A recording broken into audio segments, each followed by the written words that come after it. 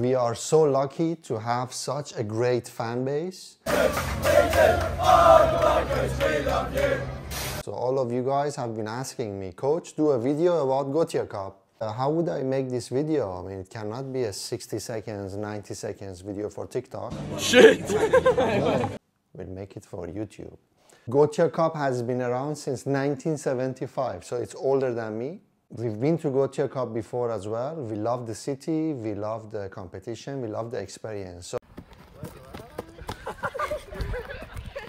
after two years of nothing because of coronavirus, we said let's take our under 16s boys to Gothia Cup. The intention was clear to gain experience, to make sure all the players are back in that competitive environment we said whoever comes, they have to play. We are not going to take players from Dubai in the middle of the summer when their families are traveling to go to a Cup and then uh, they would watch others play. So all the players that were supposed to come with us had to play matches. So the players that are reserves and are subs, uh, we've talked about this. Are you going to make them sit on the bench?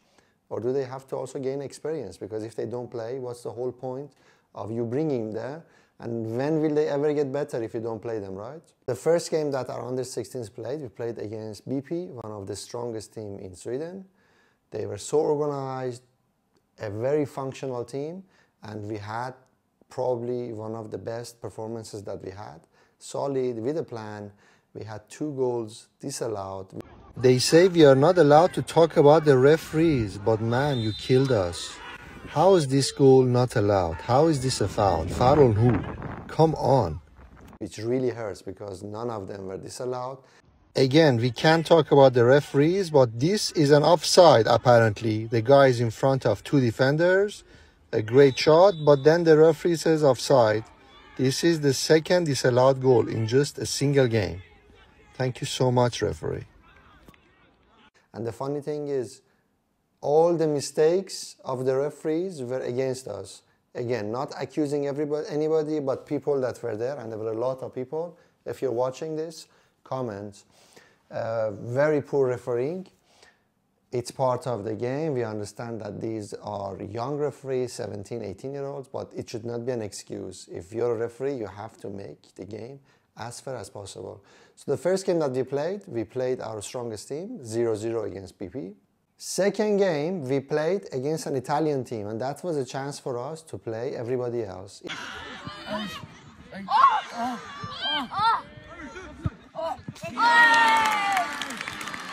Even though the Italian team was the strongest team in the group, we played with all the reserves. You're on the bench most of the time, but then you get the chance to play. You get those moments. That's when you show your quality, and then the coach will hopefully play you more often. That's the only way to become a starting player. And then we had the last group game. We played against another team from Sweden.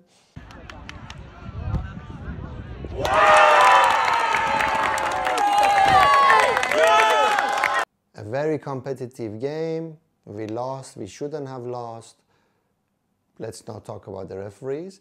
But what I'm trying to tell you is the first three games in the group stage was not important for us because regardless of how you do in the first three group stage matches, uh, you have to make sure that the fourth game that you played, which is the playoffs, you win that game. The first three doesn't matter. So we were prepared for the fourth game.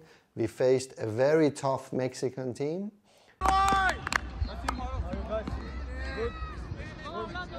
The other team, they wanted it as bad as us. A great referee, by the way. See, I'm fair, even though we lost. See, I'm, I'm fair.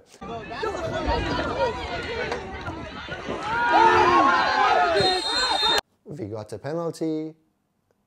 And the funny thing is, three out of my players did not want to take it. Well, the first one, the first penalty taker is Khaled. He got injured in a 1v1 with the goalkeeper. It should have been a red, last man, but again yellow, but sadly Khaled got injured. So our number nine went out, and when I was putting him outside, I asked a couple of the boys, they said, no coach, we don't want to take the penalty. They chickened out, in other words. And then one of the lads said, I'll take it. We said, okay, take it. And then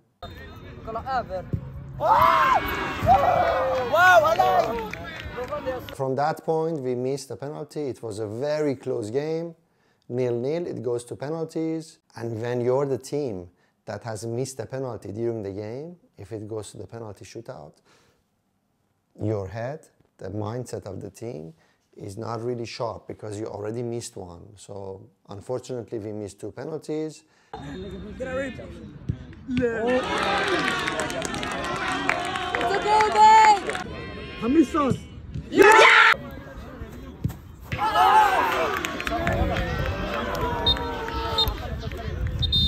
and the other team won, fully deserved. These penalties, you never know what happened. That's our under 16s wrapped up. And then we have our under 14s who overachieved what we wanted to do. We never thought these guys would finish runners up. Coaches say you need to talk. Well, you're wrong. You don't need to talk. If you and your bro have a chemistry, you can pass without even talking. And then from that point, we had a couple of days to watch matches, to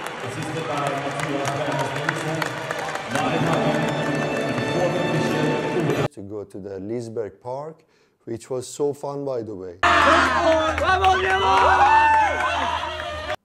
Trip was over, just like that.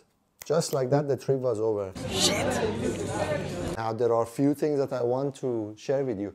When we go on a trip, nobody knows the roommates until we get to the hotel and when the players put their passports and they check in.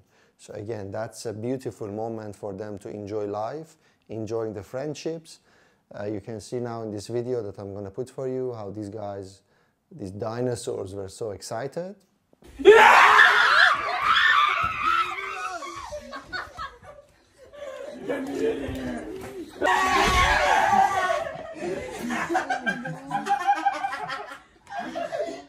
Oh, let me tell you one more thing also. Uh, we used to eat at the school, uh, good food.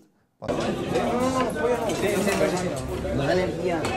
you know, you guys don't like uh, proper food, so you wanted to eat outside. And we said, you know what, if you win a game, you get to eat outside. So um, sometimes they ate outside. some- Sometimes they ate inside. But overall, a beautiful trip. Now, for next season, we are already planning to consider three cups Gothia Cup, Dana Cup, and Norway Cup. We are trying to do everything to go to all three. Under 14s, 15s, 16s, and 18s. So we have four teams. We're going to spread them across these countries. One of the teams will probably play in two tournaments. Now, thanks for watching this. This is a new way of making YouTube videos for you. I'm just sharing what's happening inside the football club. If you're interested, watch it, enjoy it, learn from it. If you have any feedbacks, let me know. And this is not to get comments from you. yeah? I know people do it. I'm interested to know your feedbacks. You guys rock, and I hope to see you very soon in one of these tournaments.